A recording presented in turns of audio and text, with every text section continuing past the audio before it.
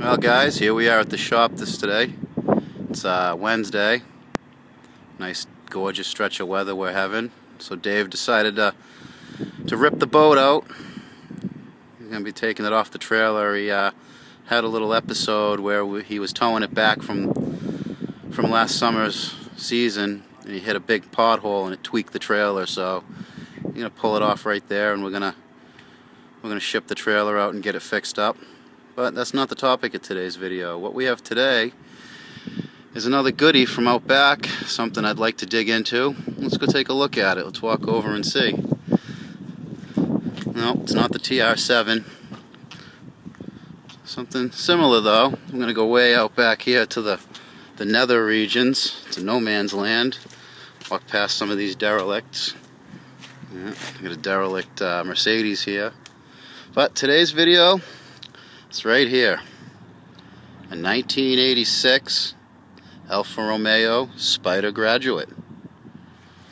Well, see if we can get a couple of good side shots. There's another deal where I'm not really ready to pull this thing out for a video, but if enough interest is shown, this is another car that that I can take the time to tear into.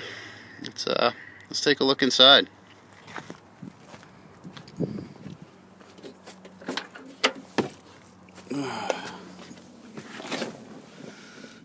Nice little dash in it. Sporty looking dash for an older car. It's in a little better shape than the the Triumph over there is. Not much better shape. Still smells like hamster, hamster cage. Two seats. Five speed.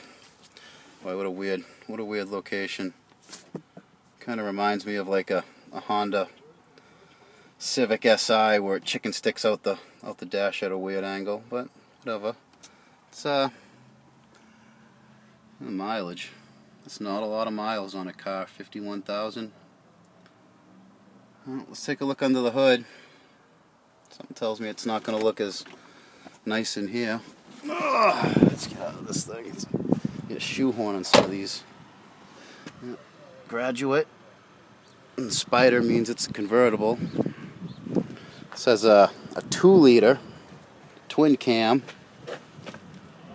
Probably puts out somewhere about 90 to 100 horsepower. I'm not sure. I, I did a quick search. I couldn't find any, any horsepower and torque specs on the car.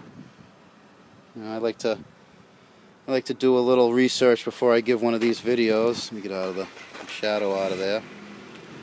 Well, it's not really in too bad shape.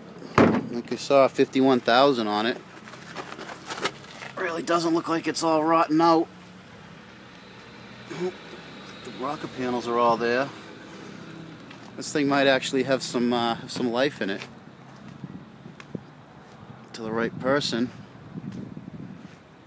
But I don't know if I wanna I wanna try to sell these cars. I think I'd like to hold on to them just for the the value of, of playing with them, making a video. I mean, I got a we got the dealer repair plates. We could I could drive it if I wanted to. Well, till tomorrow, guys. Keep it out of the cabbage. Although it looks like this thing's got cabbage growing out of it. Stay tuned, we'll find out.